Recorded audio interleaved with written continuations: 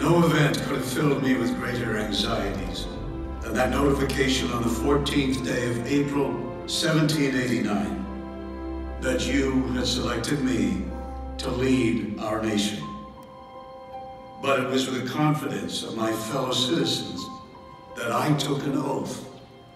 35 simple words that have been repeated by every American president throughout history.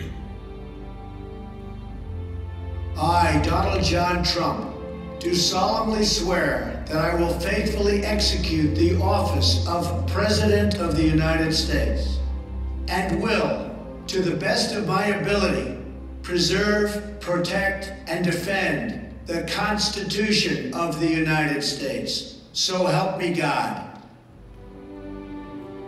From the beginning, America has been a nation defined by its people. At our founding, it was the American people who rose up to defend our freedoms and win our independence. It is why our founders began our great Constitution with three very simple words We the people.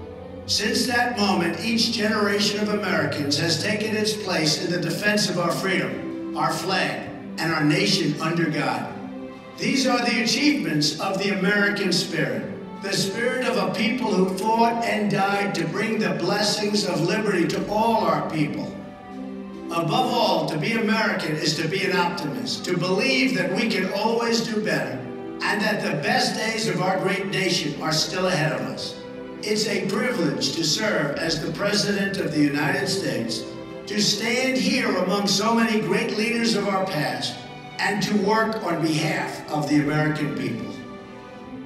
The presidency of the United